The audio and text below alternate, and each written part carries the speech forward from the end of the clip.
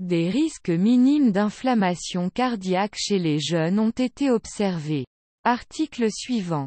L'HAS recommande aussi le rappel pour les transports sanitaires et professionnels du secteur médico-social. Article suivant.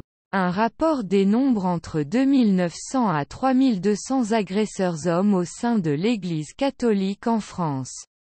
Depuis 1950. Article suivant. Aucun blessé n'a été recensé mais les engins volants ont endommagé plusieurs véhicules. Article suivant.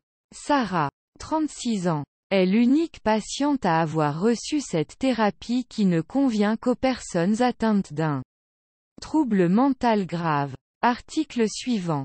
L'agence d'urbanisme de Rennes Métropole a fait ses comptes et prévoit une nouvelle poussée démographique dans la capitale bretonne dans les prochaines années. Article suivant.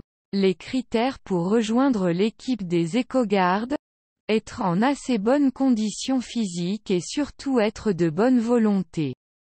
Selon le président fondateur. Article suivant.